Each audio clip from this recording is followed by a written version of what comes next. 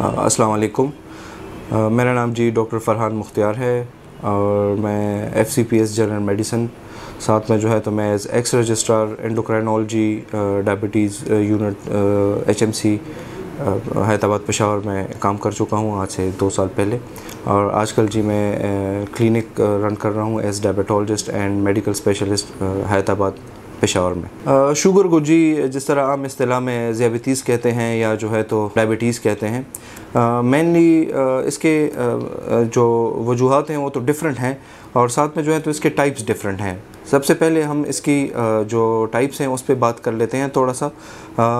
Types इसमें mainly दो किस्म के हैं। उसमें एक को कहते हैं इंसुलिन डिपेंडेंट डायबिटीज़ और एक को कहते हैं non insulin dependent diabetes insulin dependent diabetes को टाइप वन डायबिटीज़ भी कहते हैं और ज़्यादातर बच्चों में होता है।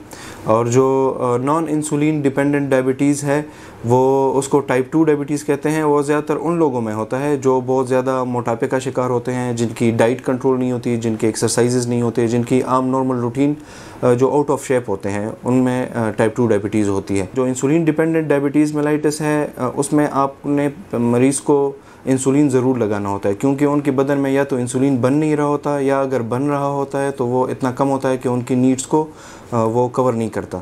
और जो टाइप टू डायबिटीज़ है तो उसमें इंसुलिन होता है, लेकिन वो इंसुलिन सेल सेलुलर लेवल पे या सेल्स जो खुली हैं, जिस पे इंसुलिन जाके काम करना होता है, वो उधर पहुँच नहीं पाता।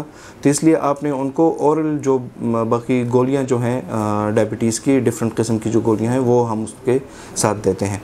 कब एक इंसान को होशियार होना चाहिए कि हाँ अभी मुझे डायबिटीज़ है या नहीं है, या मुझे डॉक्टर के पास जाना चाहिए या नहीं जाना चाहिए तो उसके लिए पहले तो उसके कुछ अलामत हैं। शुगर की अलामत जो हैं तो वो ज़्यादातर जो हैं वो प्यास लगना मतलब नॉर्मल रूटीन से हट के ज़्यादा प्यास लगना। आजकल गर्मी का मौसम है तो आजकल लोगों को प्यास लगती है। तो अगर आपको नॉर्मल रूटीन से हट के ज़्यादा प्यास लग रही है, और साथ में आपको पेशाब भी बहुत ज़्यादा आ रहा है, और सबसे बढ़कर यह है कि आपको अगर रात को तीन से चार दफ़ा, पाँच दफ़ा उठ के वॉशरूम जाना पड़ रहा है, आपको पेशाब ज़्यादा आ रहा है तो इसका मतलब ये है कि आपको आपको शुगर लेवल चेक कर लेने चाहिए।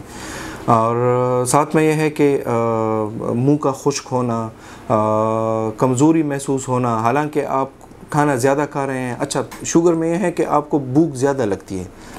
आपको भूख ज़्यादा लगती है, आप खाना ज़्यादा खाते हैं, लेकिन उसके साथ अगर आपके शुगर्स अगर आपने बर वक्त इलाज न स्टार्ट किया और आपने तशखीस के लिए टेस्ट नहीं किया और आपने ट्रीटमेंट टाइम पे नहीं स्टार्ट की तो फिर मसला ये होता है कि आपको आपके जो, जिसको हम अपनी ज़ुबान में गेस्ट्रोपरीसिस कहते हैं कि आपका मैदा बिल्कुल रुक जाता है। आप जो भी खाते हैं तो वो आपके मैदे पे रहता है और हमारे यहाँ उसको कहते हैं कि बस दिल पे बोझ है, पेट पे बोझ है मतलब आप खाना खाते हैं लेकिन वो आपके बिल्कुल इधर आपके चूँकि स्टमक जो, उसकी जो नॉर्मल रूटीन है पेरिस्टालसिस जिसको हम कहते हैं कि वो खाने को आगे बेचता है अंतरियों की तरफ़ तो वो नहीं कर पाता।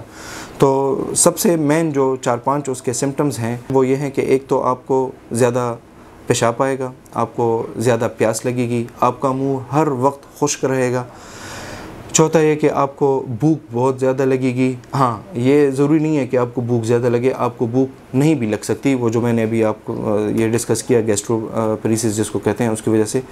बदन में कमज़ोरी आना साथ में बदन में बहुत ज़्यादा थकावट आना रात को पाँव जलना ये सारे अलामत जो हैं तो वो डायबिटीज़ के हैं जो टाइप टू डायबिटीज़ है।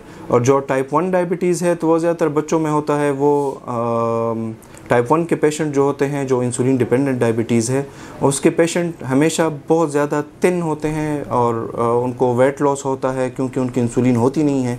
तो आज हम ज़्यादातर बात जो है तो वो टाइप टू पे करेंगे क्योंकि हमारे यहाँ ज़्यादातर मसला आजकल टाइप टू का है। टाइप वन चूँकि वो आप हॉस्पिटल में जाके ही उसको मैनेज कर सकते हैं। उसकी मैनेजमेंट जो है तो वो टोटली डिफरेंट होती है टाइप टू से। लेकिन हम आज जो फोकस करेंगे वो हम टाइप टू पे करेंगे जिसको हम नॉन इंसुलिन डिपेंडेंट डायबिटीज़ कहते हैं जो ज़्यादातर मोटापे की वजह से होता है। अगर आप टेस्ट करने जाते हैं और आप टेस्ट करते हैं तो आपने किस टाइम पे टेस्ट करना है? एक तो आपने सुबह निहार मुँह टेस्ट करना है ठीक है? तो निहार मुँह आपका निहार मुँह किसे कहते हैं कि आपने रात को खाना खाया आप सो गए और सुबह आप उठे। आपने आ, सबसे पहले काम ये करना है कि आपने जाके शुगर का टेस्ट करना है। Within half an hour आप कर लें तो ज़्यादा बेहतर है। वो उसके लेवल्स ये हैं कि वो 126 से ऊपर नहीं होना चाहिए। आजकल बहुत ज़्यादा स्ट्रिक हो गए हैं जो इंटरनेशनल डायबिटीज़ फेडरेशन है, जो अमेरिकन डायबिटीज़ एसोसिएशन है, वो सारी ये चीज़ें चेक कर रही होती हैं, जो इंटरनेशनल ऑर्गेनाइजेशन हैं। तो वो कहते हैं कि आजकल तो हंड्रेड से ऊपर भी नहीं होना चाहिए। तो अगर आपका सुबह निहार मुँह, आपका शुगर का टेस्ट सौ से ऊपर है या 126 से ऊपर है। 126 से अगर ऊपर है तो फिर तो आपको डेफिनेटली डायबिटीज़ है। अगर नहीं 100 और 126 के दरमियान है तो उसके लिए आपको दो तीन और टेस्ट करने पड़ते हैं। वो आपको फिर स्पेसिफिक डॉक्टर के पास जाना पड़ता है। अच्छा अगर आप खाना, दिन में आपने खाना खाया हुआ है और पेट भरा हुआ है और आपने टेस्ट करना है तो उसकी लिमिट ये है कि वो सत्तर से लेके 140 तक होना चाहिए। अगर इसके दरमियान है तो मतलब आपको कोई डायबिटीज़ नहीं है, शायद आपको कोई और मसला हो।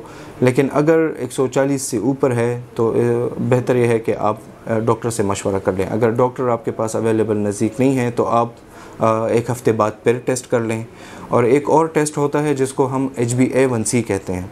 एच बी एम ये है कि वो आपके पिछले तीन महीने के शुगर्स को बताता है कि मतलब आपके शुगर्स पिछले तीन महीनों में एवरेज कितना रहा है। तो उसके अपने लेवल्स हैं, वो डिफरेंट लेवल्स होते हैं, लेकिन स्टैंडर्ड ये है कि वो आपका फाइव पॉइंट सिक्स से ऊपर नहीं होना चाहिए। अगर वो आपका 5.6 परसेंट से ऊपर आ रहा है तो आपको होशियार हो जाना चाहिए, आपको विजिलेंट हो जाना चाहिए कि हाँ कोई गड़बड़ है, बदन में कोई मेटाबॉलिक प्रॉब्लम है जिसकी वजह से मेरा शुगर बढ़ रहा है। अगर आपके सुबह के निहार मुँह आपके शुगर्स 126 से ऊपर हैं और आपके भरे पेट आपका शुगर का टेस्ट अगर 140 से ऊपर है या 160 से ऊपर है और साथ में आपका एच बी एवन सी भी आपने कर लिया और वो आपका सिक्स से ऊपर आ रहा है या फाइव पॉइंट सेवन से ऊपर आ रहा है तो इसका मतलब ये है कि आपको डायबिटीज़ है। तो उसके लिए फिर यह है कि आपने डॉक्टर के पास जाना है और आपने वो आपको कुछ चेकअप आपके करेंगे, आपसे कुछ सवाल जवाब करेंगे और फिर उसके बाद आपको मेडिकेशंस लिख देंगे।